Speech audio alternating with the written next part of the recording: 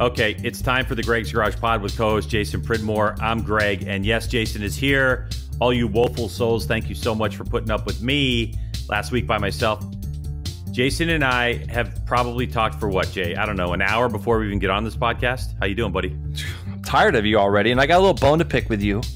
All right, go I want to know last week, and and our our tens of viewers uh, want to know why you cut me off at the end of that podcast last week when I was talking about starting my archery you career. Were, you were done. You were done talking.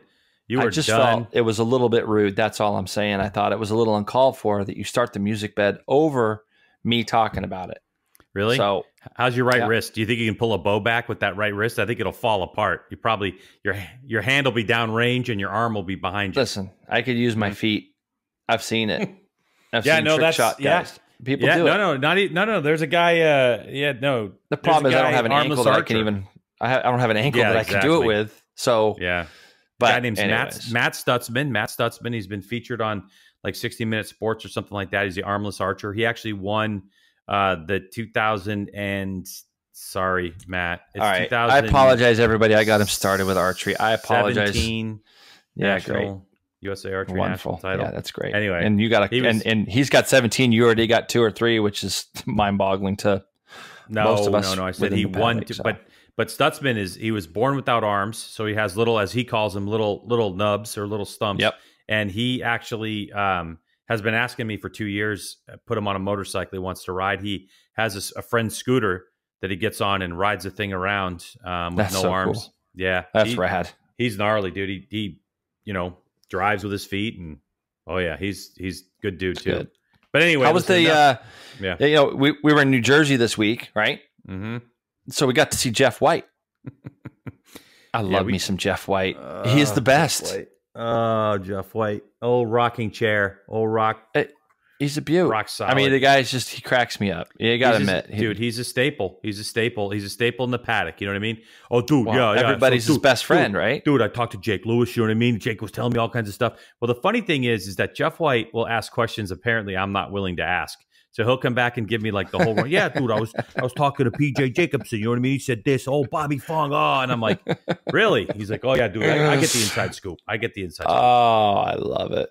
I love it. A lot of happenings on the weekend. Obviously, we were at Jersey and started the NFL season, and your uh, crooked team they they sign a, a convict, so that was cool. Like you got to be pretty stoked on that. Whoa, like you, whoa, a guy wait that just uh, a, a lawsuit it's against good. a lawsuit against someone is far from being a convict. What are you talking? whatever, About? whatever. Please. You It's know what I mean? Look at How the do, end you, of the how do you? Why would you even be a Patriot fan? I don't understand. It. All right, let's talk racing because I'm over this whole thing and with your bow and arrow and your brother and I actually not your brother. I love your brother, but Well, where do you- anyhow, where do you want to start? Where do you want to start? I'm just starting in Superbike, and we're starting with Garrett Gerloff coming out right off the bat on race one, and literally, I think right of the year for Garrett. I know we, we could go back and look at Laguna Seca being his first win as right of the year as well, but I think that this was a race where uh, he got off the line. Um, he fought for the race the whole time. Uh, he went head to head with Cameron Beaubier, and when you look at a head to head race, I'm talking at Laguna he was able to get by early and kind of get away from uh, Toni Elias and and and Cameron Beaubier in the sense that those two kind of got mixed up in a battle. Garrett Gerloff was out running extremely fast laps at Laguna and goes on and wins. But this one, this one, you know, Jersey's a little bullring to me, and I think that Garrett was quick all weekend long, practice, qualifying, obviously, uh, and then in the race, I just thought he rode so superb that first day uh, to beat Cameron Beaubier by 1.7 seconds. JD Beach was third. Toni Elias, insane fourth place, 25 seconds behind the winner. We'll talk about that probably on our podcast next week when we do our Moto America only one. But Matthew Scholtz ends up fifth. Lewis Herrin, Gagne, Wyman, and David Anthony round out the top 10. The second day, Greg, uh, you know, we had we had Beaubier winning. Unfortunately, in the morning, Garrett Gerloff had a big accident and uh, wasn't able to participate in the races. But it was really a Yamaha weekend with Beach finishing second, Scholtz, Elias again fourth, this time 11 seconds back. So they did make some improvements. Jake Lewis, Wyman Herrin, Gagne, and Dave Anthony with Cam Petersen rounding out your top 10. The takeaway, I think, has got to be the shakeup in the points in the championship, Gerloff showing speed, and, and then unfortunately having an accident. Yeah, the, the shakeup is, of course, that now we had 35 points uh, Toni Elias had on Cameron Beaubier when we went into the weekend. Now it's down to 16.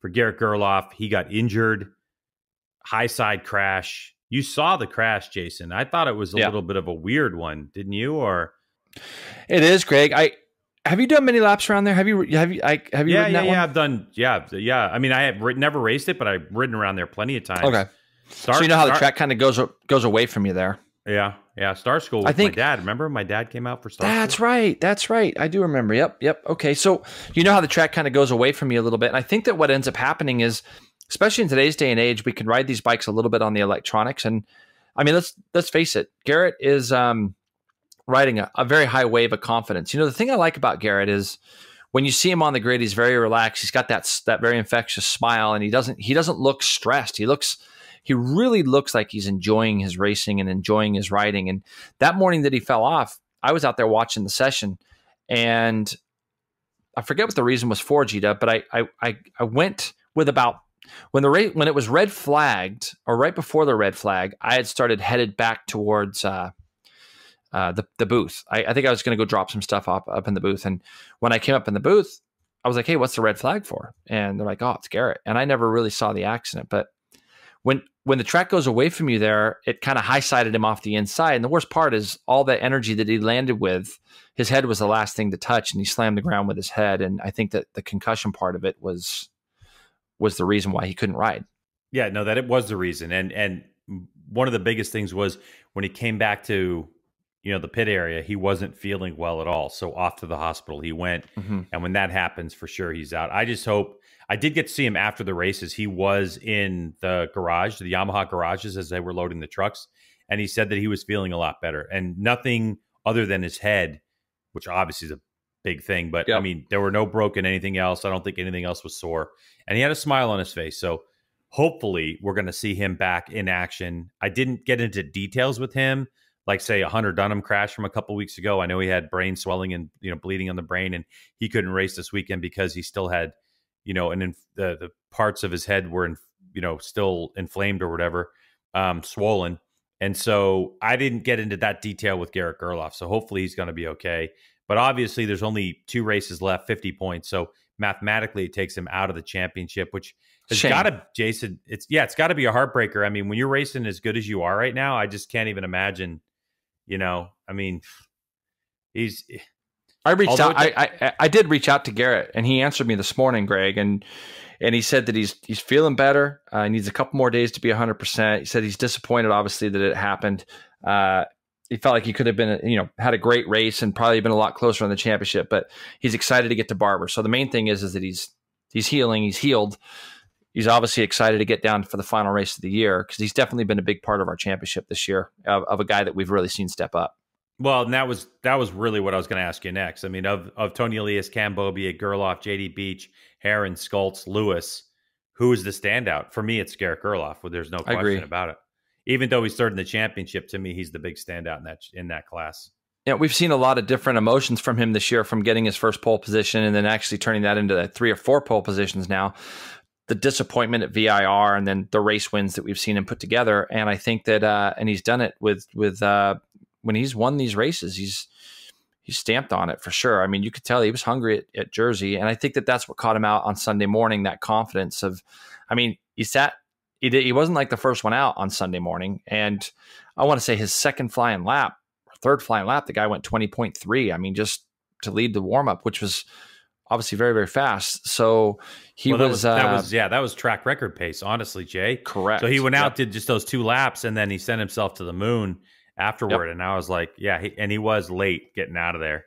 So yeah, but, but main thing is, is he's good. And there's nothing broken. I think that now we've got a championship, and you and I have over the over the uh, course of the year, you know, and this is probably something that we'll cover a lot more next week. But I think that you know, we there's been times this year where we're like, well, championship's over, and uh, this is why I like having these full year points things. I've never been a big fan of, you know, showdowns and things like this only because you know we've ran a full season and anything can happen in racing and now we've got a 16 point gap at the front I, Yosh bikes I, I, think the big shocker for me at Jersey was just how far off the pace uh, the Yoshimura Suzuki's actually were. Um, they weren't even close all weekend long. And Tony, you could tell, was just grinding out the laps in practice, trying to come up with a solution. Um, and obviously, they made some gains. I think Greg the second day because he he did essentially cut that distance down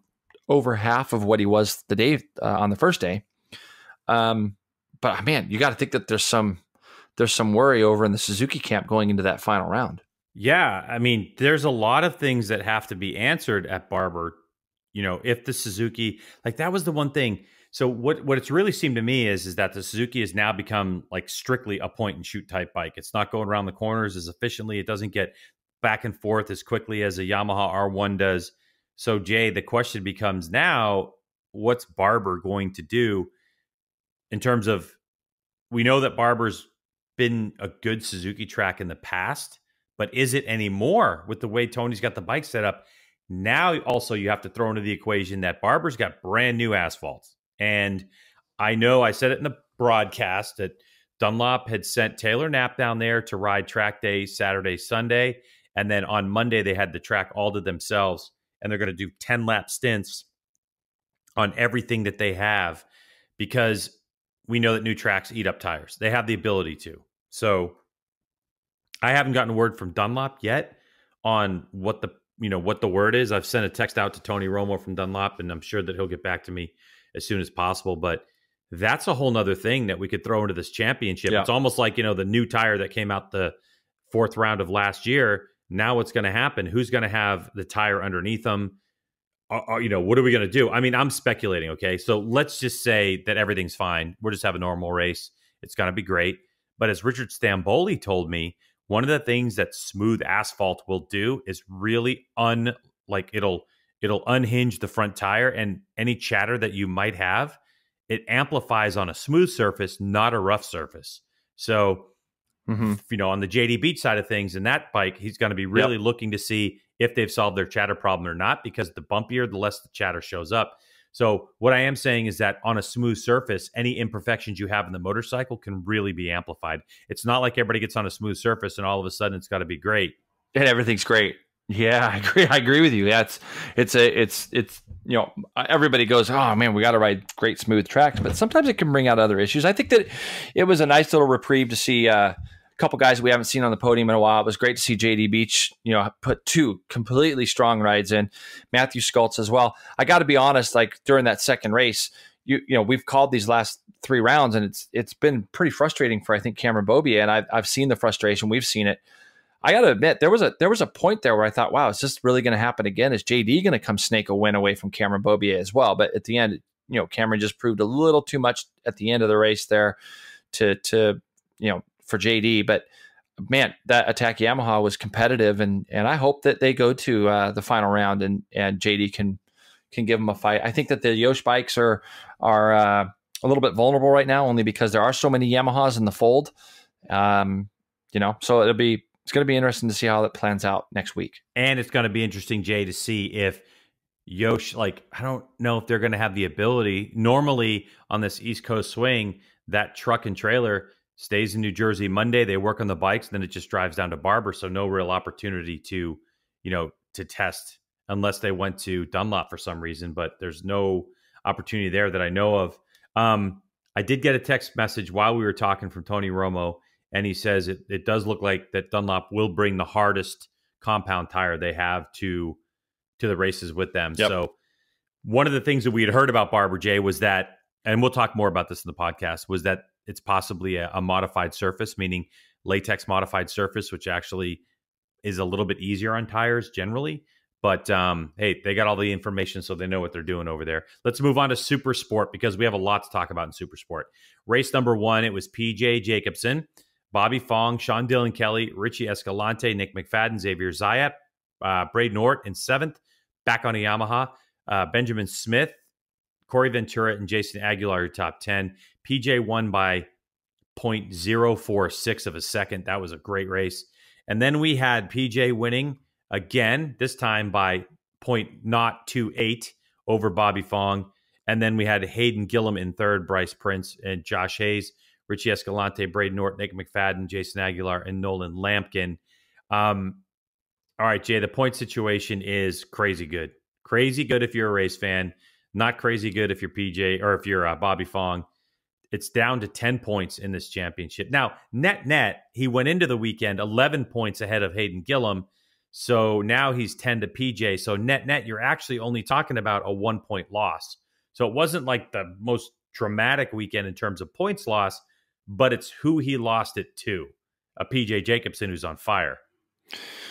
Well, yeah, and I think that the one point that you look at that is that was gained uh, for PJ, it, it's not just about the one point that Bobby lost; it's the momentum that PJ is carrying right now. He's coming off of uh, basically three wins in his last five races. I believe he won the second race in uh, uh, Sonoma. Then he follows it up with a couple podiums. You know, Greg, I think since Laguna Seca, PJ hasn't been off the podium, so he's racked up a number of points. Uh, the test that that team did after they went to um, after they after Utah, they went and tested. They were able to to help PJ get a little bit more comfortable on the motorbike, and and I, it's really paid off. And now we're starting to see him shine. I think the races really told two tales. The first race on the uh, on Saturday was uh, a big battle at the front, and PJ just let things kind of sort themselves out. And unfortunately, we lost Hayden Gillim in that first race to a crash in turn six while he was leading. And I think that PJ sat back and just let the race unfold. You know, these these races are, you know, they're uh, the, the the first day was 15 laps long, and I'm sorry, 20 laps long, and he just let let these guys. They were beating on each other pretty hard, and PJ watched it. We've heard some of the comments he's made during the course of the year, and the second day was a day where he led from the front, and Bobby Fong chased him and chased him and chased him. I still think that what Bobby did on the weekend was was very good. He didn't. He never really looked. Uh, you know, he got his he got his forty points and got out of and got out of Jersey, which I think is a great job from Bobby. It gives him two more weeks to heal now going into Barber, and I think that he'll be really good down there. He did have a he fell off the bike in what qualifying, and it yep. was on the left side, which is where he's hurt.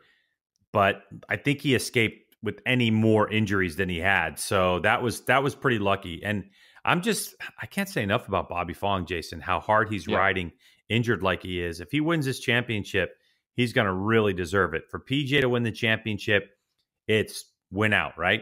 Win out. Yep. And then Bobby Fong in second place, and then PJ would win on wins. So it, it's going to be great to see that. Now, we can't breeze over super sport in this podcast without talking about the little incident, Jason, that happened between Hayden Gillim and Sean Dylan Kelly on the M4 ECSTAR Suzuki. So, to be honest with you, they were coming out of what I don't even know what corner it was, a left hand corner, five, five out of yep. turn five. It looks like they got together and Sean Dylan Kelly hit the deck. Now, to be completely honest, I've seen the replay 50 times. For me, I know video. I've been doing this a long time. I didn't actually see the contact. You know, like it was it was not conclusive. I couldn't say 100% if it happened. So I'm curious to find out what your take is because the aftermath of this incident has got a couple layers to it. One of them, of course, are these people that are getting on Hayden Gillim's case and basically calling him a dirty rider and that type of stuff. So I'm going to put you on the spot. What do you think about that part of the situation?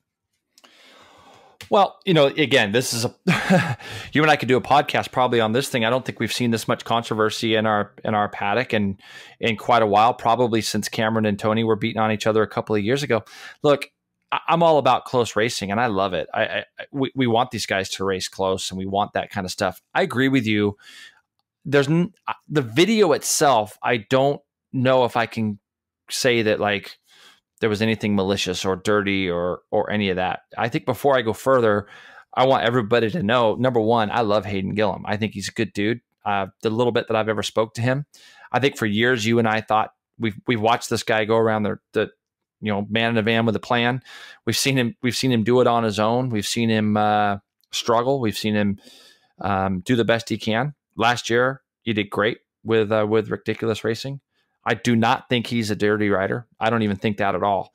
I do think that Bobby likes to use a little bit of size to intimidate, maybe bully people. Uh, I know he's I know he gestures a lot while he's on the racetrack. I've actually had riders come up and tell me that. Um, but you know, Greg, if I was to ask you who, when you look at these 600 races over the course of the year, and you say who is the guy that's maybe trying to be the most intimidating, who is the guy that we've seen make more contact with people, who would you say? Yeah, I mean, from what I've heard and you know just around the paddock and what I've seen, it's Hayden. It is, but but this year, but this year, right, Jay?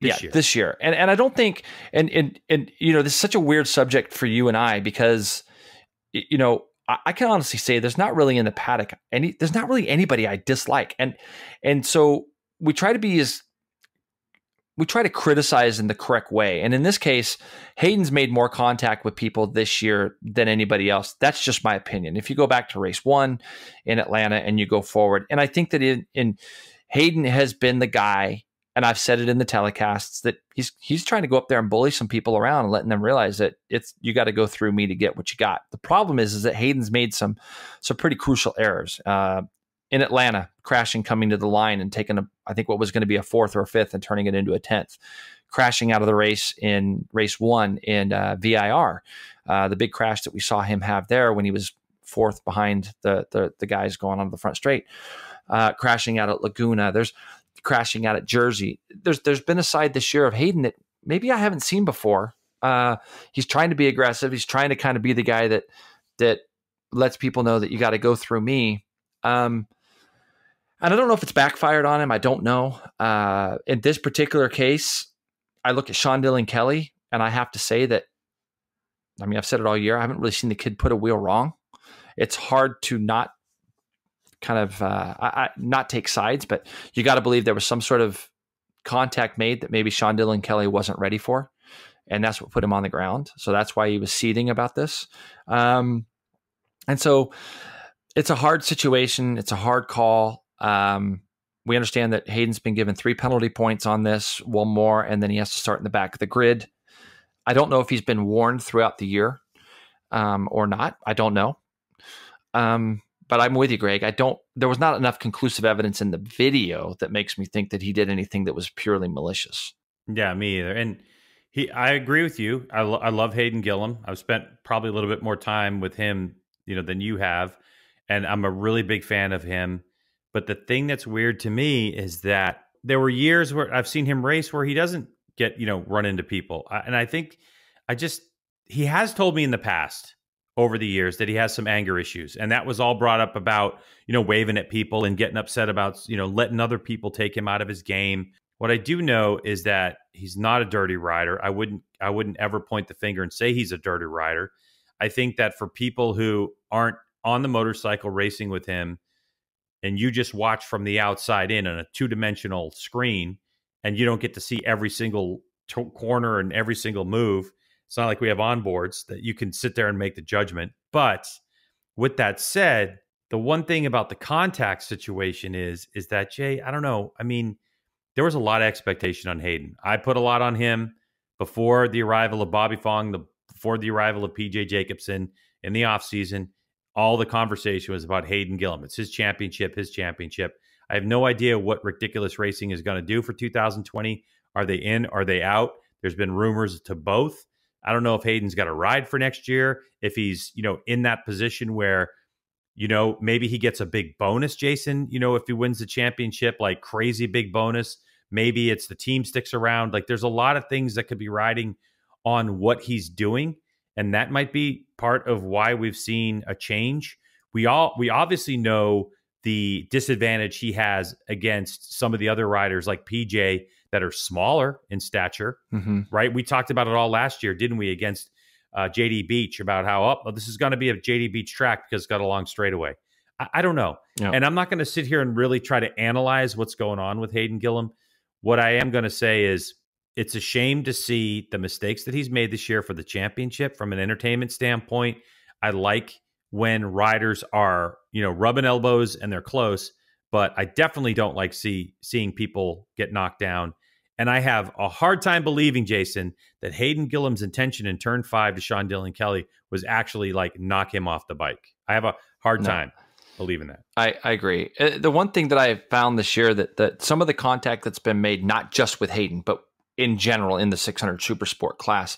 I'm not a big fan on the exit of corner contacts and down the straightaway rubbing and stuff that we've seen because it to me it's so easy to hook a handlebar. It's so easy to do that kind of stuff uh, when you're on straightaways and when you're when you're uh, put it put it to you this way when you when you see somebody go up underneath somebody and on the exit of the corner that person squares them up if that guy that just got done passing you starts to run a little bit wide, what you don't need to do if you've got a head of steam on them is to go running past them with inches to spare in the sense that you've got to be cognizant that your knee, your uh, rear cowling, whatever the case could be, your handlebar, your elbow, whatever, has the potential of ripping the bars out of somebody's hands at speed under acceleration. If somebody's coming up underneath you in the middle of a corner or going into a corner, we saw Bobby Fong go up underneath PJ on the first day in turn 10. They got a little bit close and PJ stood the bike up and let Bobby go through.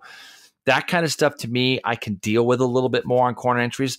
I haven't enjoyed some of the stuff this year where there's been rubbing going on down the straightaways and on the exit of these corners as much racing now has become you know, I, I saw, and, this is something we'll go to in a little bit. I saw Chris Orich said that, you know, road racing isn't a contact sport. I, I disagree with that to an extent, not based off of it's a contact sport like football or something like that.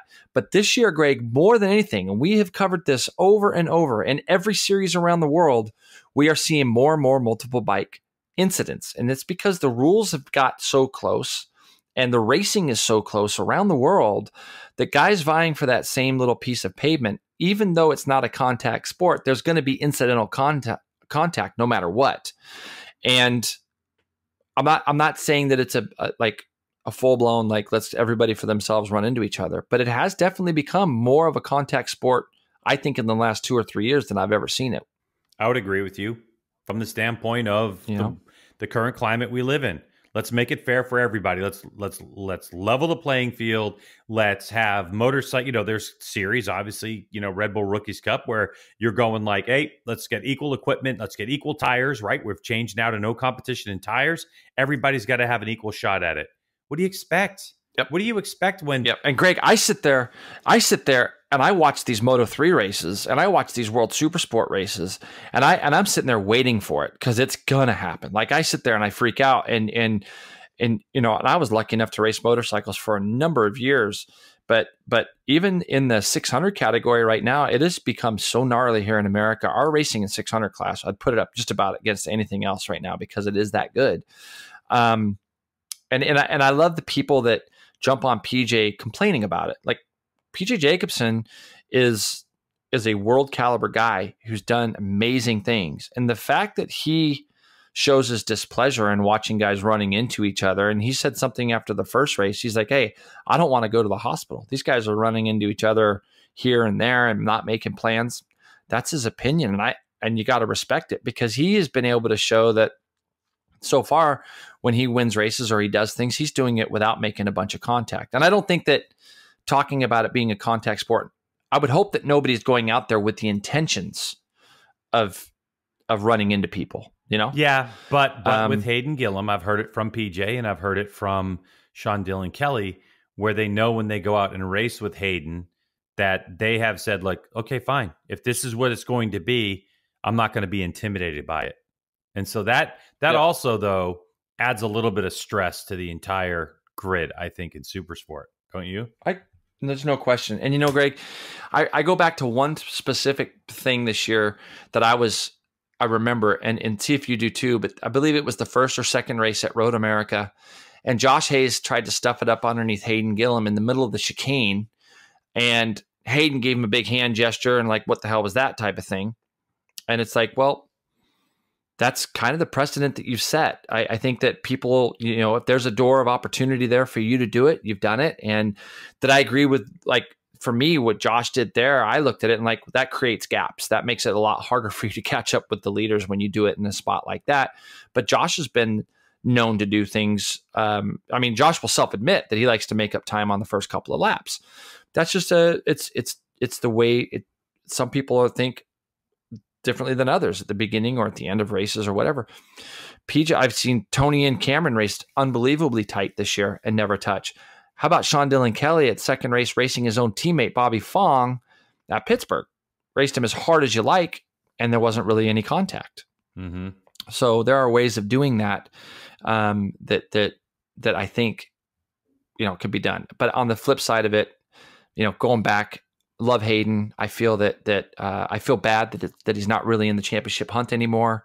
Um, it was really coming down to a good three way battle. He was at the front of the race on Saturday when he tipped off, and uh, I hope they, you know, these guys have a great, you know, a great finish to the year. I think on the on the back note of this, Greg, I know there's a whole nother side of this story. Mm. Um, you know, after the race, uh, you know, Sean Dylan Kelly was fortunate enough he got up, rode his bike back in, and you know, it was three or four laps still left in the race uh, when this happened, or maybe a couple laps, anyways. And, um, you know, there was a big altercation with Sean Dylan Kelly's dad, Pat Kelly, um, losing it just a little bit, probably a lot of passion, a lot of whatever, and throws a water bottle at Hayden Gillim as he comes into the pits and hits him in the head with the water bottle. So now he's been banned for the next six events in Moto America. So that'll be Barber in the next five rounds next year and um, you know, just kind of a bit of a messy scene. Mm. I know, I know, I know how you feel about these kind of things. Yeah, um, it it really, it really just steams me. It steams me. Mm-hmm.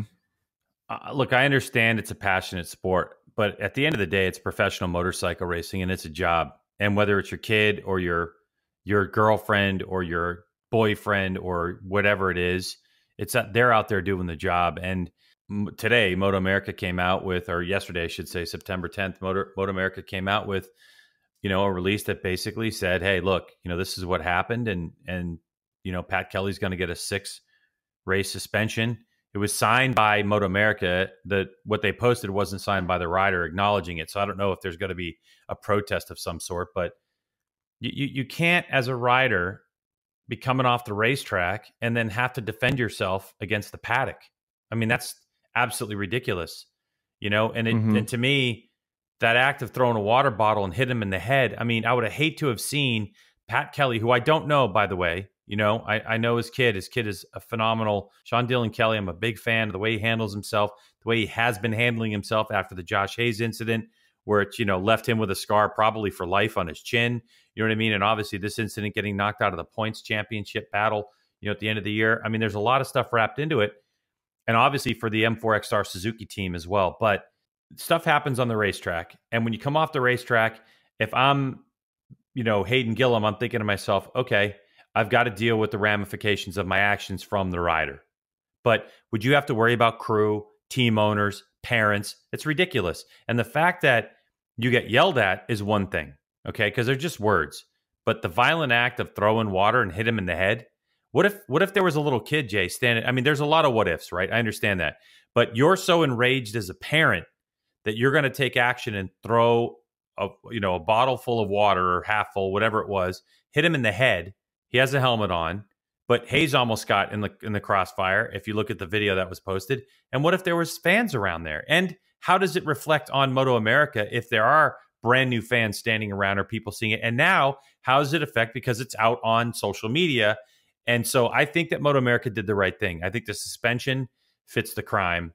And I've, i feel bad for Sean Dylan Kelly that his dad's not going to be allowed at the racetrack. But to me, it's just absolutely insane, you know, that you can't get your emotions under control. And that's where it just gets me aggravated. And Jay, you know, I've been around this game a long time. I've seen a lot of In- girlfriends. Yep. boyfriends, parents, yeah, yeah, that they get all fired up about an incident that doesn't have anything to do with them. And there is a lot of stuff behind a lot of stuff. Yeah, right. Yeah, yeah. I mean, we know that.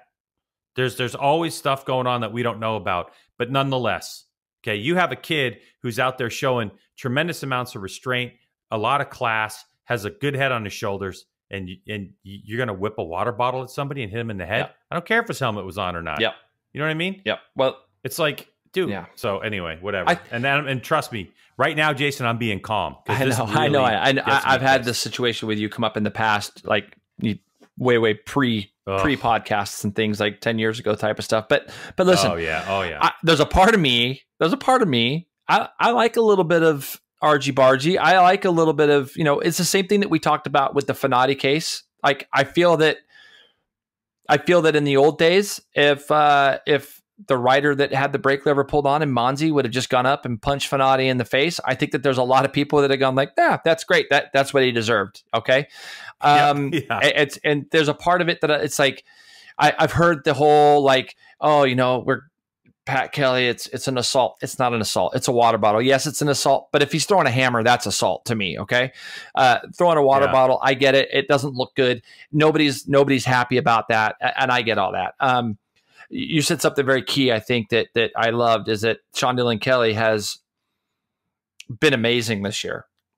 Absolutely incredible. I I, th- I thought about this last night, Greg. I was sitting there and I was I was doing some some notes for the podcast and you you realize that that Sean Dylan Kelly was 45 points back going into that race, I believe is what he was. The kid was still in the championship pot at 17 years old going to Barber. He still would have been eligible to maybe win the championship, possibly. In his okay? rookie year. In his rookie year. Now, and this is a kid that neither of us really knew, um, other than we knew his name, but we never obviously got to see him really ride. And I want you to think about this. He was that close. He had a tip off, an accident at VIR that the team just weren't able to get the bike back together for before the start of the race on that Saturday. So that's a no point finish. Through no fault of his own at Sonoma, he gets kind of shoved off the racetrack. You know, the Josh Hayes incident that you just talked about, that's a no points finish. And then this weekend, he's running third, whether he finishes third or fourth or wherever he could have finished. And I realize we're talking about this is just racing, but he had really three non finishes that we could pretty easily say you know, VIR was was his fault. He fell. They couldn't get the bike back together. That has more of a scheduling sure. impact, I think, more than an actual rider impact of him not being able to score points that day. But he's he's got three non-point finishes, and the kid was still right there in the in the mix for this championship. And I think that that is what ate away. Maybe maybe some of that passion comes out there. I myself feel like if Sean Dylan Kelly was standing in pit lane when Hayden Gillim came in with his hands in the air, that would have sent a big enough message of like, you know what what was that? What did you do? Like why did this happen? Um rather than where it ended up getting to. So you know hopefully we go to we go there to this race this final race the 600 race and it's a killer killer race and everybody uh, walks away at the end of the year remembering an unbelievable championship battle that we've got that's going to be you know based off down there. It's going to be uh, it's going to be everybody's game to win. So going forward, fun to see it. Yeah, yeah, yeah, I think you know, and it'll be for me. I, have really enjoyed watching 600 Super Sport this year. The field itself, you and you, you know, I think this is actually something that you you said earlier in the year. The the field itself has gotten so much faster. I mean, a lot faster, and and so we've seen some guys do really well. Um, yeah, but anyways, we we were able to crown our first champion in Moto America to no one's real surprise, Greg, I don't think, in uh, the Liqui Junior Cup. Um, Drum roll, please. Yeah, exactly. Rocco Landers um, epitomizes everything that Moto America and you know Wayne Rainey and and all the powers that be there at Moto America. Rocco Landers embodies all that. He's a young he's a young man at 14 years old who um, didn't just win this championship. I mean, he more or less dominated. Yeah, he had a couple of people that got close to him this year. He even lost fair and square one time uh, at at yeah, at Utah to Dallas Daniels. Um, but overall, one of, 15, one of 15, by the way, right? Correct, correct. Overall, this was the year that we'll remember, that we'll be able to look back on, hopefully in five years, 10 years, whatever from now, and say, hey, we got to see this kid race. Rocco Landers was the class of the field this year in uh, in Moto America couple guys really stepped up that I enjoyed watching. Jackson Blackmon this weekend. I feel that he's been around with us for three or four years now. I feel like Jackson Blackmon, this was his coming out weekend. He jumped on that Kawasaki two or three rounds ago. He actually gave Rocco a run for his money all the way to the line on Saturday. Uh, Isaiah Davis, Cody Wyman, Jacob Stroud, Jigalov, Kamsuk, Hobbs, Rodio, and, and Benjamin Gloddy rounded out the top 10 on the first day. The second day, Greg, it wasn't quite the way it was the first day. Jackson Blackmon lost by by 0. Point, or 0.021 of a second the first day.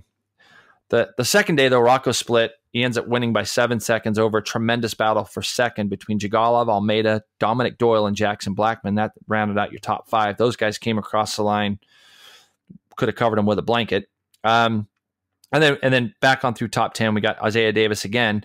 Uh, Teagg Hobbs, Reese Burleson, and Jacob Stroud ends up 10th. What's your takeaway, Greg, on, on the year so far with, with this Liqui Moly Cup? I mean, it's really fun to watch Rocco emerge as a young man, you know, having to deal with the limelight and obviously the pressure. The the thing that impresses me most about Rocco, and we've said it time and time again, is just the different ways he's done it. He's he's won a race in so many different ways, you know, from being dead last to plowing his way through the field, you know, whatever all the adversity he's he's had, plus, you know, from pole to win. Um, in race two, he came through. He wasn't he didn't set the fastest lap of the race in race number one. That set the grid. He was, I think, P four. I think Jay or yep. P five or something like that. Yeah, he was like, yeah, you're exactly right. He was middle of second row. I, I thought there was something wrong row. with our graphic. Yeah, yeah, exactly. But yet, still, they go to work. They find a solution to his problem. And if you look at best time from race one to race two, race two, he was one second a lap faster uh, than he was in the first day. And he was the only one in race two to do a 29. Actually, in race trim, I think he was the only one to do a 29 period. I, I mean, agree with talking, you. Yeah. Yep. Jay, you're talking 29.6 on a junior cup bike. That's and insane. Super Sport was doing 22s as the fastest. Mm-hmm. So, I mean, it's it, it, to me what he's done is impressive. Now, what happens with Rocco J? This is this is the question. He he said he's going to Europe. He's going to try out for the Red Bull Rookies Cup. I mean, there's you know the the European Talent Cup is like he was telling me they're what Moto 3, he said they're stock Honda Moto 3 bikes, which I don't know what a stock Moto 3 bike exactly would be versus a built up Moto 3 bike, but I think we're going to lose Rocco Landers to Europe. If there's any races that don't conflict, he wants to come back and race in Junior Cup again because he's only 14. Next year, he's only going to be 15.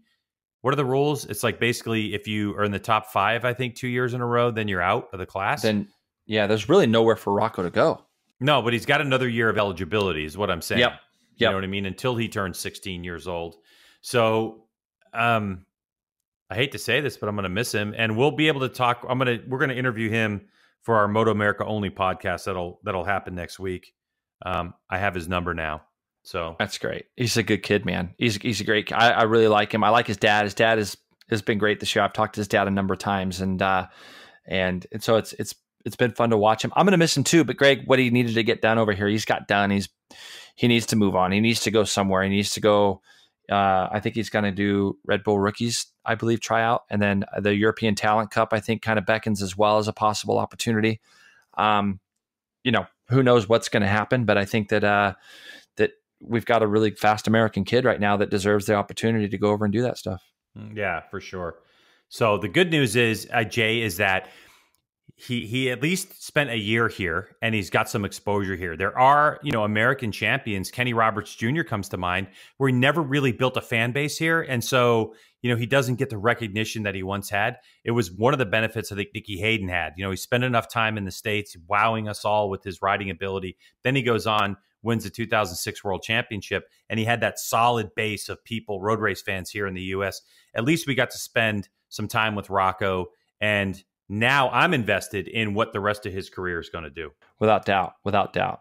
Moving forward, mm-hmm. let's talk about another championship that was decided on the weekend. It was going to be the second race that that was actually the deciding factor. And you know, you got to look at this guy again, Greg. And this is you know when we look at thousand super stock or stock thousand, when we when we look at this championship, it's a class that we have seen grow this year. We've got more almost kind of noted riders that have come in and uh, you know wanted to showcase themselves on thousands. But again, when you look at it, Andrew Lee this year has been uh, nothing short of incredible. He's won every race since uh, I believe it's Utah.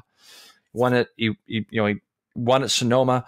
He he, won at uh, Laguna Seca. Goes to Pittsburgh, wins at Pittsburgh, and then uh, comes to Jersey. And we kind of made a little bit of a joke. The the first day, uh, his bike was geared so wrong. And, you know, him and his crew had a joke about it and all that stuff as well, because his bike was like redlining at start finish line. And I'm thinking, what is going on? Um, but it didn't stop him. I mean, he ends up winning the race. uh, on Sunday, and with it came the championship for Andrew Lee, second year in a row. And we'll talk a little bit more about his accolades um, that he's had over the last couple years. As a kid, I'm super impressed with Corey Alexander. Amazing to see Corey back. Corey did three rounds this year, finished on the podium, all three of them. Stefano Mesa, uh, again, another kid all year long. He's been on the podium, uh, with the exception of Pittsburgh, where he got taken out. Um, Stefano's class act. Frankie Babuska, great to see him. A lot of club racer from the East Coast. Um, Good to see him fourth. Ashton Yates fifth. Miles Thornton, Felipe McLean, uh, Segura Heflin, and Roy Holster rounded out the top ten.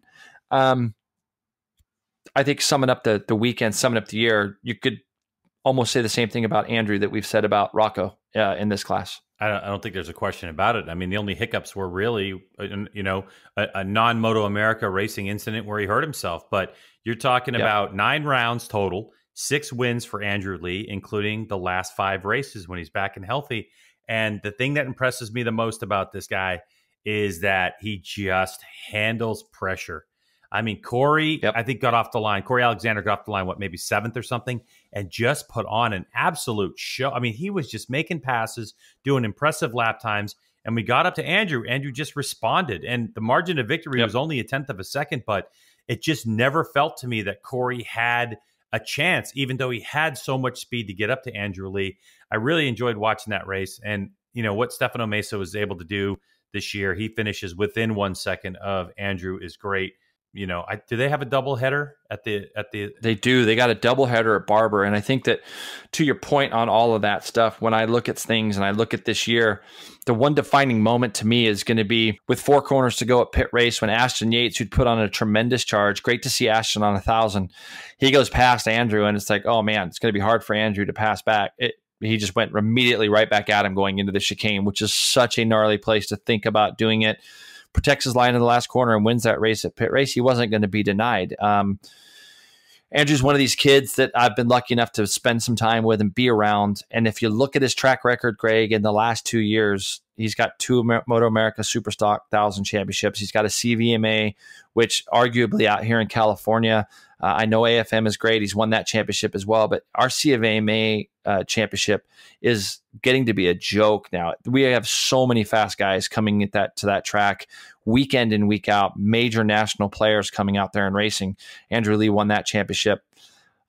Greg, he's crashed one time this year. He crashed one time last year.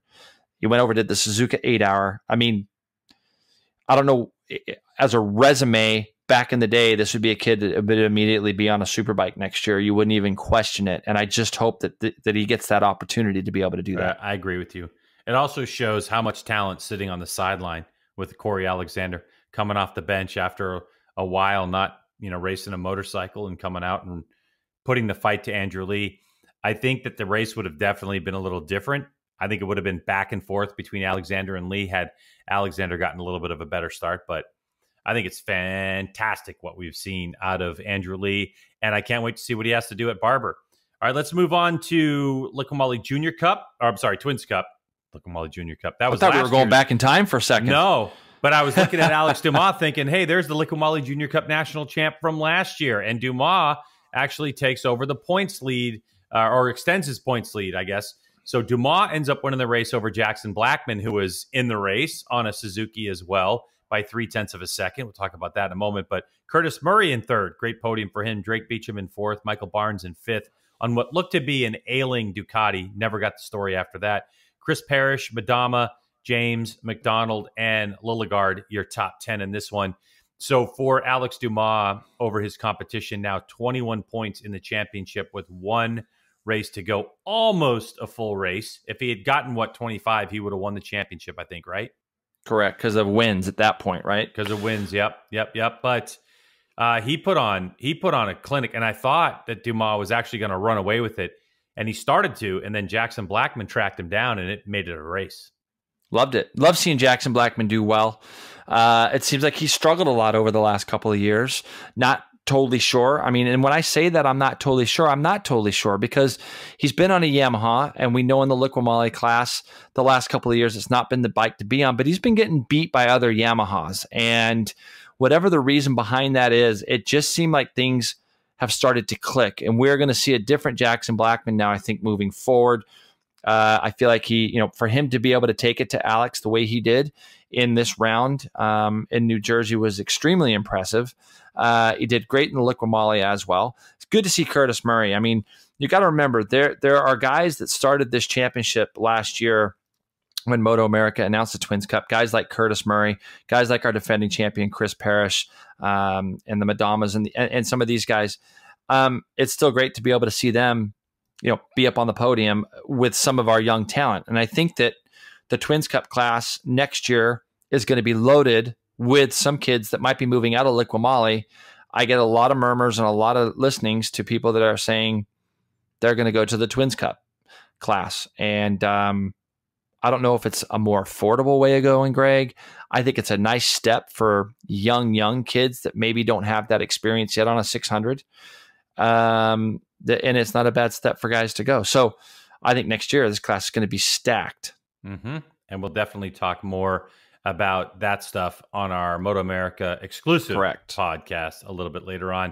All right, Jay, let's shift gears and head off to World Superbike, shall we? Let's do and it. Let's do it. Let's start off with the Superbike class. Of course, they had three races over the weekend. They were in uh in where Portimao.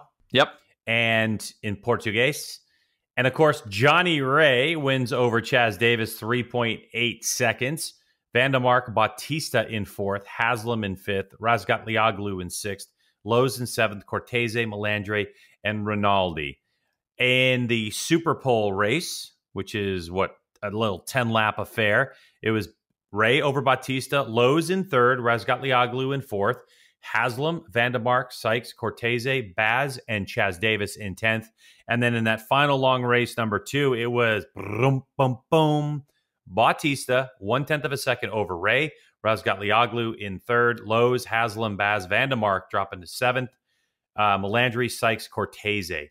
So, Jason, let's go ahead and, you know, I mean, obviously, we're already, what, close to an hour into this podcast, and we're just getting out talking about World Superbike. But, um, a little bit of contact in race one between some teammates. And what what'd you see though? What'd you think?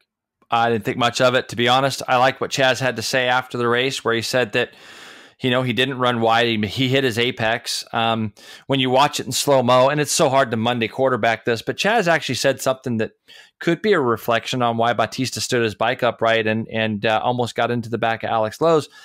You know, he got taken out pretty hard at it, through no fault of his own, he got taken out pretty hard at turn turn two there at Laguna Seca right off the start. Uh, did Alvaro Bautista, and so maybe when he sees a guy shoving it up underneath him, he wanted to give him a little bit of room. Uh, and Chaz kind of felt like Bautista overreacted. The comment afterwards was, with teammates like that, you know, who needs enemies from Bautista to Chaz? and I think it lit a little fire up underneath Chaz. So I didn't think it was that big a deal. Um, still, that said, Bautista came back and fought all the way up to uh, to fourth place in that first one. Uh, second one, he kind of got shuffled back again in the Super Pole race. And Johnny's, you know, when he gets out front, he gets that clear track. He's he's he's you know he's pretty good, and um, obviously, uh, and I think that there were some. Uh, there's a lot going on right now in World Superbike amongst teams, riders swapping seats. Uh, everybody's out there trying to get results. Um, and so there was some good racing even behind. And then in the last race, I mean, Bautista did what he needed to do. He controlled the pace at the front. Uh, you know, I think that when you look at, I'm looking right now, I'm looking at, you know, even top speeds again, that the, the Ducati was pretty fast down that straightaway. And Bautista made it work. I was a little bit bummed for Chaz. You know, he comes off a win at Laguna, finishes second in the first race on Saturday. And then on Sunday, it sounds like just from his social media that they made some changes, Greg, that maybe weren't as good. And so Sunday he struggled a fair bit. And it I, I was a little bit bummed because I thought this is good for Chaz. He was only 3.8 back in the first race, uh, but they went the wrong way, it sounds like. Yeah, he said it just ended up being really difficult, you know, to race. When you look at this championship, though, Jay, let me cast your mind back a little bit. So let's say that we are we're April 14th, Assen's over, right? And so far, we've seen Bautista win everything except one Super Pole race, which they didn't even have. But he comes out and wins what? One, two, three. So six, nine, ten, eleven. He won 11 in a row. Yeah. And it looked like this. All right. So now that was four races into it. Now we're after the break. They've raced and all of a sudden, Jonathan Rea is 91 points ahead of Bautista in this championship. Alex Lowes now moves himself into third in the championship. But dude, get this. 241 points back in third place. Yeah. You know, and he's he's duking it out with his teammate van der Mark, who's only five points back. But anyway, the question is after Assen, would you have ever guessed by the time we're done and headed to Magny-Cours that Johnny Rea would have a 91 point lead in this championship? Did you ever think that was possible? No, no, absolutely not. Greg, No. this is without question, without question, the biggest choke job or the biggest whatever you want to call it um, that I've ever seen in any championship. I've never seen it. I've never seen somebody dominating the way Bautista has dominated. I've never ever seen this big of a collapse in anything. I can't even honestly say uh, in any sport. I think, barring injury, of course. Okay. Um, Yeah, barring injury. I mean, this course. has just been a self sabotaging year for Bautista. And and to his credit, the guy won eleven races. He really did handle this this Ducati well. Um, we fought a lot at the beginning of the year with listeners about, you know, we're not giving him enough credit. We're not we're not giving Bautista the credit that he deserves. And I feel I feel and I felt like the Ducati's just on a little bit of a different level playing field. I mean, you watched you watched it this week. It was it was a joke. Did you see the onboard camera when he goes by Haslam and Sykes on the front straightaway? Did you see that? I sure did. I mean, oh, I sure did. It looked like a top fuel car going by a stock Corvette down the straight. It was a joke, and and It looked like it looked like you riding on a club day. You know what I mean? Uh, or a uh, yeah, yeah. I- you know what I mean? Like but- a track day. but I mean. but it, but honestly, um, all those people that were ready to me included, by the way, I, I I think it got to the point where I was finally like, well, yeah, okay,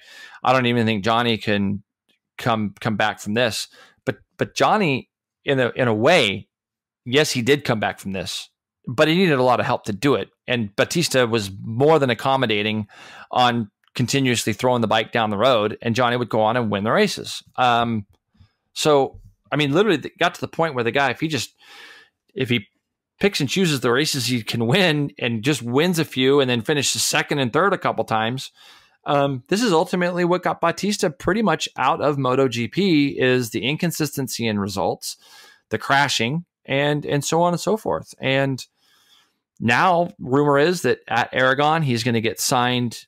You know that the coming out party with Honda is going to be there. Um, that he's going to go on to that to, to that team next year.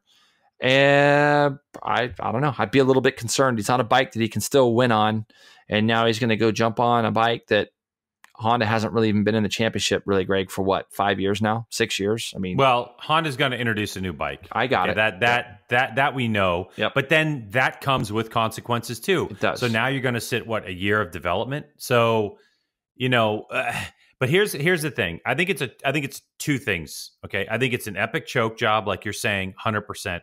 But I also think that it's it's doubly the choke is the effort that Johnny and his Kawasaki team have really put in after they were getting you know their dicks knocked in Yep. because you know if you look at those results and you go okay you know going from the first it's Bautista win Johnny second Bautista win Johnny second da, da, da, da, da, da, all the way through the first three races of the year until you get to like Assen and I think Johnny what he there was well there was no Super Pole they, race it snowed. and he it snowed yeah but yeah. Bautista won that race. Vandermark was second, and and Johnny Rea was third in that race.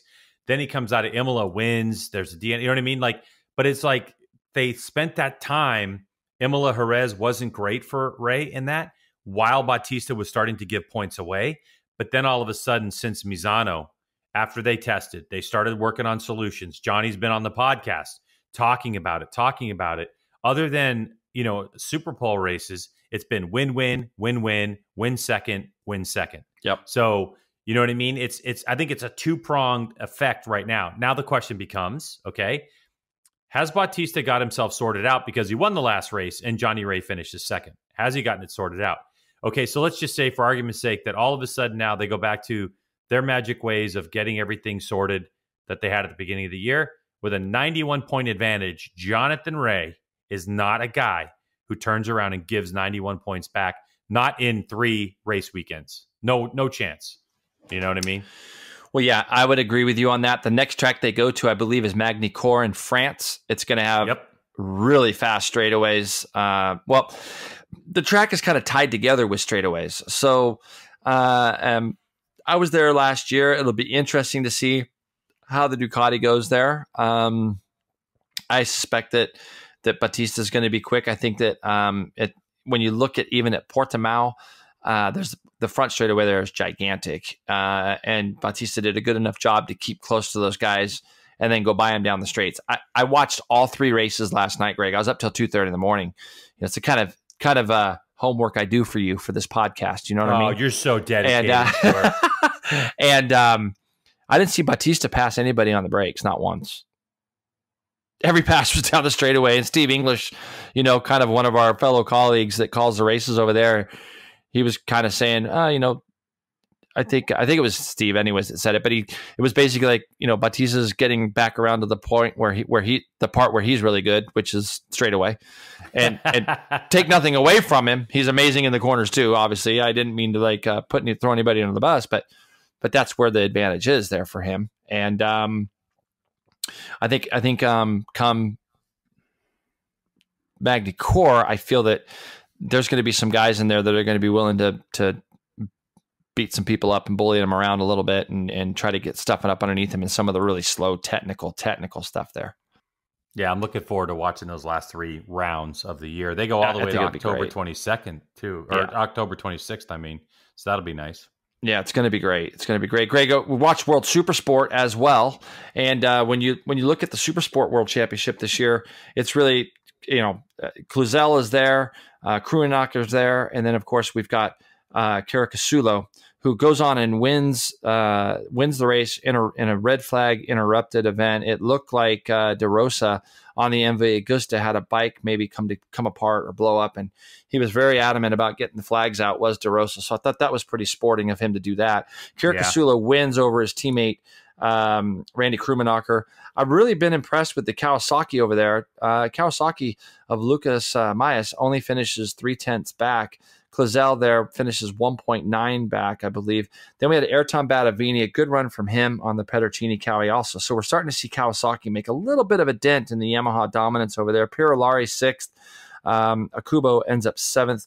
Jules Danilo is is eighth. Crescent and Pons end up tenth. Um, yeah, by the way, that, that, eighth that eighth place finish was on a Honda CBR 600 RR. Can you imagine? Good ride. Yeah, they're still over there. The landlord insurance Honda team are still over there. Simon Buckmaster's crew, and we've seen Jules Danilo also um, in the MotoGP paddock as well. But you know, when you when you look at it now, Greg, and um, you start you you start looking at uh, the points here. I'm sorry, you've probably got it pulled up. But no, I do have the points. Yeah. Yeah, it's, it's Krummenacher's only okay. 10. He's only 10 ahead of Caricasulo.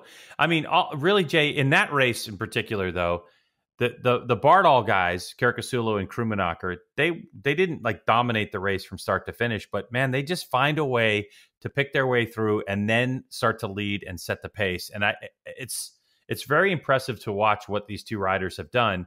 And in this championship, you know, Krummenacher in the last two rounds, so at Donington and Portimao, has lost, you know, um, what you're talking about five and seven points. So he's lost a good you know, 10 points in this championship yep. to to yep.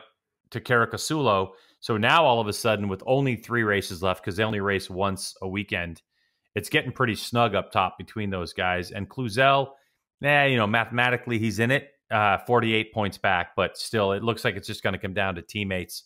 So Jay, have you ever been in a, you know, championship fight with your teammate heading down to the end of the year? I can't can't remember. Uh, nope, have not. I have not. But uh, th- those bikes, they looked like they had a little bit of pace too. Isaac Vinales um, at the beginning of that race was there with him, and he really couldn't go past him down the straightaway. He was trying to. He was trying to draft his way through. So you know, obviously they're on some strong equipment. Those two guys. Uh, that that team's done a, a tremendous job for them. Uh, I'm familiar with the team that Cluzel rides for. Um, you know, uh, the GMT 94 team. Uh, the, the, the the main guy there, Christoph is a good friend of mine, and um, I know they built some pretty stout stuff too. But it just looked like those bikes had a little bit of pace, and those guys are riding, you know, amazing. So they've got they've got three rounds left to go in that championship. So it'll you know, it's going to be really, I think, Greg, who can get in between the teammates, right? That's what it's going to boil down to. And both guys are very aggressive. So it, that that could still go anywhere. How about a little uh, World Supersport 300? In that one, you had a good race that came down to two riders. Gonzalez, who is your, I guess, I guess you could say he's going to be the the would be champion at this point. He's got a 38 point lead over Deroue, um, who actually won the race, and then Anna Carrasco finishing in third. So Jay, um, you did you get a chance to, to check that race out? Oh yeah, I, I did. I, I, did get to watch the the highlight package um, of that race, and uh, you know, Deroue and Gonzalez broke away, and I believe I think you're, you're right. I think that if he'd had a what was it, Greg? If he'd had a 50 point lead, I think he would have won the championship. So yeah, because they the, had two rounds left. Yep. And Deroue's the only one I believe that I think I think Anna was still mathematically in it at the time.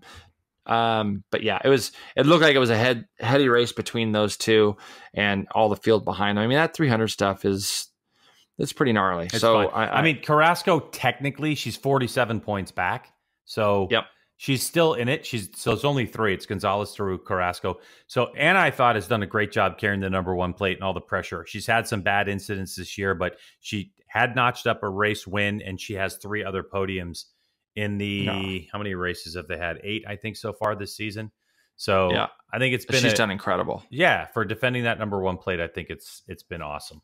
Mm-hmm. It's been great, and it's it's uh there's a young lady also that I believe Greg finished. I believe finished sixth in this race.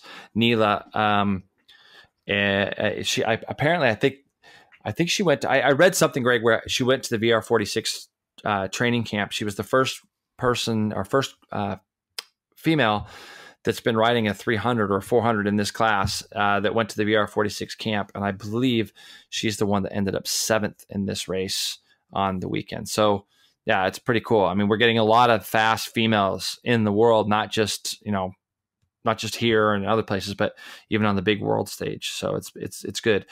Greg, this weekend we're headed to Misano and we're going to the Marco Simoncelli circuit there in Italy. And I thought that before we went and, and really looked at that, I listened. Yes, Greg, I did. I listened to that podcast. What that you had that you had to do on your own. Uh-huh. Uh, and I know who Garrett Gerloff likes more, which I I full props to him. Thank him. Oh, please. Thank you know we'll have to thank him when Go I see back him. and listen to that garbage.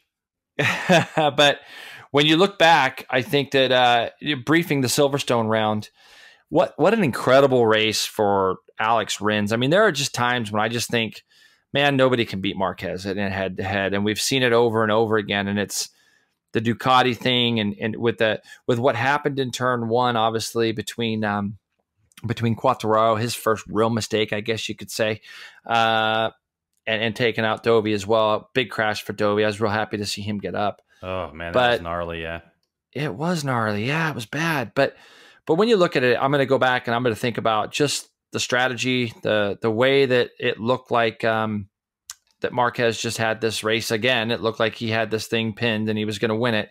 And Rins pips him at the line. Vinales was was coming. He had three bikes all crossed within a second of each other. But I really think that it was. I feel it was it was probably one of the best Grand Prix of the year just by the way it finishes at the line. I don't know if I said this in the other podcast, but I, honestly, the most impressive thing to me about the entire race was that Rins thought that the last lap of the race was this, you know, the second lap, last lap of the race. You know, you want was, to say the word. Say the word, Greg. You can say the word here. You can say it. What was he it? Thought it, he thought it was, it? the penultimate lap. He thought it was yeah, the penultimate there lap. You go. there right, you yeah. go. He thought it was that lap, but he kept yes. racing because we have seen people like coming and they kind of like chop the throttle and give up. But Rins was smart enough to go, oh, wait a second, that's the white flag. And he kept it going because I get so many people that I was talking with, you know, that are like you know in the archery world or in like other people that I know that that watch MotoGP and cycling and stuff, and they're like, "Man, Rins was like he looked so desperate on the second to last lap," and I'm like, "Yeah," because he thought that was the race. I mean, he thought it was the last lap, so he he started throwing the kitchen sink at it, and he came up short. Jay, can you imagine? You you you do everything you can to try to beat Marquez, and you're coming out of that last corner, and Marquez drifts you wide, pushes you all the way out to the edge, and you go, "Oh, son of a!" And you look up and you go, "Oh, white flag, white flag! We're going for this yeah, again, they, bitches." Marquez not celebrating saved him, obviously, because he then he realized where he was at, and um, and we've seen those kind of mistakes before. But how about how many times do you actually get to do like a, uh, a, a like a practice run? Like, okay, wait, outside didn't uh, work, so even on the last lap, yeah. he was he was probably going around going, okay, well that even though I thought I had just finished second, it didn't work. So let's think about what we're going to do the next time we get back to that spot. But incredible run. I think that Misano is going to be a really good race. I think it'll be fun to watch this weekend. Um, you saw the whole thing where where Rossi rode basically from his ranch through Tavullia and yeah, and, uh, yeah. all the way to the track this week already. So big build up there to to Misano, and uh, I think it's going to be uh, you know again. Uh, it's anybody's race, I think, at this track. Uh, the Yamahas look like they're coming on strong again. Suzuki just did really well. Hopefully, Dovi and all that is is healthy. Mm-hmm. I think the other the other telling point of the weekend for me, uh, just real briefly, was Moto Two. Um, we've Marc Marquez, uh, Marc Marquez, Alex Marquez again was was was doing very well in the race. He had Navarro uh, up his bum for the most part at the beginning, and they'd pulled away from everybody else. And then we saw Alex make really the first mistake he's made, um, like pretty much on his own. We've seen him get taken out uh, this year a couple of times. But uh, when you, when you look at where where he's at the the championship standings, um, he's 35 points up, I believe, still, Greg, uh, on three different riders now. Augusto Fernandez, who actually won in England, uh, Tom Luthi, and Jorge Navarro. They're all 35 points back of Alex Marquez, even though he's had a couple of incidents. He's been riding remarkable, and hopefully he can get back on track. He has signed again with Marc VDS, and he's got Sam Lowes that's going to be his teammate next year. So that's going to be interesting to see uh, once Sam gets on that bike if he could turn some things around for himself and and get a like almost a fresh start with with arguably the best team in the paddock. Yep, and in Moto three, the championship is still as tight as you like it. I think it's like 14 points between Dalla Porta and Canet. Uh, uh, Arbolino is kind of in the mix, so obviously we're looking forward to that. Also, Jason, coming up by the way uh, at Misano, it's going to be a double header round for Moto E. So they get to ah yes yeah. So I'm really looking forward to those races. Especially, I'm just going like fingers crossed for a dry race. I just want to see those things right race in the dry. You know, I think they've only had what one dry race in the mix. Hey, you want it? You want yep. some stats though, leading into um, let's hear it. Leading into Misano. Okay, this is one that I thought was interesting. Over the last 21 races, Marc Marquez has finished on the podium and only once has that been in third, and that was Brno last season. So wow. he's all he's. Can you imagine that? Twenty one podiums in a row, and only one of them's been a third. It dates back to last year. That's incredible. Yeah, that's incredible. Now here's yeah. another thing that that I that I know you know, but you might not be cognizant of. Okay, that win for Alex Rins at the British GP was was only the fourth victory for Suzuki since the introduction of the MotoGP class in 2002. Wow. Is that shocking? Yeah. That is shocking. I thought it was more. I thought it was more as well, but yeah, since yeah. 2002, since they started that whole big, you know, four-stroke era, only and he's got two of them this year, right? So yeah, exactly. And then Vinales, and then Vinales has one what three years ago. Mm-hmm. And, and I'd have to um, really think hard. Chris Vermeulen. Who has the what other do you one? think? Chris Chris Vermeulen. I Vermeulen, think, yes, and the rain in France. Yep.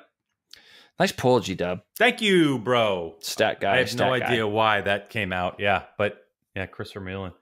So yeah, I'm looking forward to to Misano. There's so much wrapped around that. If if you get a chance to go to Misano this weekend, I mean, with Rossi and all that kind of stuff, you got to go check it out for sure. All right, Jay, you want to move on to the last thing we're going to do here? All right, that sound means that it's time for our quick shift segment presented by Arai. So, for three generations, Arai's been making some of the world's best helmets, and of course, Arai helmets meets all safety standards, but they also pride themselves in a blend of engineering tech and human craftsmanship that makes an Arai helmet fit better and feel better, which also protects you better. Your head's worth the best. Go visit AraiAmericas.com for more information on tech, fit, and paint jobs. AraiAmericas.com because you owe it to you. Speaking of that, Jason, I don't know if you know this or not, but um, there's a bunch of American journalists that are in Japan right now. They got to visit Arai's corporate headquarters and ride some bikes. And in all the years I've been doing this, okay, 22 years I've been in the motorcycle industry doing TV, I have had no less than seven trips scheduled to go to Japan. Four of those, I actually had tickets purchased, and I have never been. What? And I got a call. Yeah, I got a call from Jeff Wheel from Orion. He was like, hey man, you know, what do you think about the possibility of taking the podcast to a ride? You get to ride motorcycles around Japan, at that, that, that, and we talked about this for an hour on what we would do with the podcast, video wise. What did, bah, bah, bah. and then he goes, "Oh, and by the way, it's during uh, New Jersey Motorsports Park weekend." yeah. Oh, there is that. Yeah, you dumb, that's, that's you too dumb bad. son of a bitch. I know it hurts, but anyway, in our, our quick shift segment presented by Arai, we're gonna rip off a couple questions. You'll hear this when time is up, which means Jason will immediately stop talking. That's a mm-hmm. lie, everybody. and uh, so yeah, and then that's it. We'll move on to the next topic. So Jay, you actually mentioned it earlier in the podcast. After race one, incident between Bautista and and Chaz Davies, Bautista allegedly, jokingly said, you know, with teammate like Chaz, I don't need any other enemies. And then he went on to explain the situation. Now, Jay, with social media and inflammatory headlines that are always popping up everywhere, do you, as a writer, you know, need to watch jokes like that? That's my question. No, no, I don't. I, no, why do you care what anybody else thinks? Say what you want to say. It, eh, you know, the thing is, is you just got to be ready for the recourse coming back at you. And I, and you know, I couldn't honestly remember. I couldn't really at first when I read it, I couldn't tell if he was kidding or not. Like like because that's kind of something that you would say kind of that's when you use that term you kind of use it jokingly sometimes.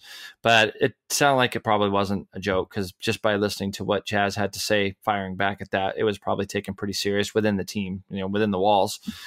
So no i look say what you want to say. At this day and age everybody's open game. Unfortunately our, all our lives are way too public. And um, you just have you open yourself up for stuff like that. So it's just the way it is. Uh, MotoGP has adjusted its premier class start time to make room for the F1 race in Singapore. Greg, if they had uh, left the time on the schedule, there would have been a direct clash in start times this weekend at Misano. What do you think about it? Uh, well, I mean, I have two thoughts on that one. One is, hey, you're MotoGP. Who cares about F1? You've got to stand mm-hmm. on your own two feet, right? You've got to. But on the other hand, the reality is, you know, if you're hearing it from the fans in Europe, especially Dorna, who's based in Spain. Formula One's popular there. It's obviously very popular in Italy. Eh, why not make some concessions? I think that sometimes race organizations, and I'm not going to point the finger at who, but think that like having a start time is like as soon as you put it on a piece of paper, it's the way it has to be. And I think that MotoGP did the right thing. And they just said, look, we're just going to start practice and everything. We're just going to time shift everything a little bit earlier, one hour earlier, and give everyone a chance. So I guess, Jay, why take the chance if you're MotoGP? If you have a similar crowd to Formula One, why even bother taking the chance? Just time shift it. No big deal. What do you think? I don't think it's a big deal. I like what you said though. MotoGP kind of stands on its own, and really, how many people really watch races live anymore? I, I don't. I mean, look, I, I TiVo everything. I'm, I maybe I'm different, but I, I I TiVo everything so I can watch it when I want to watch it. If you don't want to see the results, don't get on social media. I just crack up at people that that bitch about like, oh, you know, spoiler alerts. Like when on race weekends, Greg, you know me. I come into the booth on Sundays and go, Greg, I don't know any of the results, so I don't want to know them. Don't tell me. And I've done pretty well at not being able to find out who wins. So, yeah, I guess I guess if you're in the mix and you're in Spain and things like that, but uh, but who cares? Hey, old man, old man. It's it's not yeah. TiVo. It's not TiVo anymore. It's called a DVR, uh, digital video recorder. Okay. What? Oh my God, you are. I still got video cassettes that I use. No, please listen. KTM. I'm just kidding. KTM's going to withdraw from Moto 2 next withdrawal. KTM's going to withdraw from Moto 2 next year, concentrating on Moto 3. This leaves the Tech 3 team in a bit of a pickle, or at least we thought it did. Um, the KTM MotoGP satellite team has been asked to move to Moto 3 in 2020. Hervé Poncharal told Crash.net that it's better fit for his team. What do you think about that? Well, I I think that he's got to move into whatever class you know he has a chance of winning in or a chance of doing well in because that is not in MotoGP.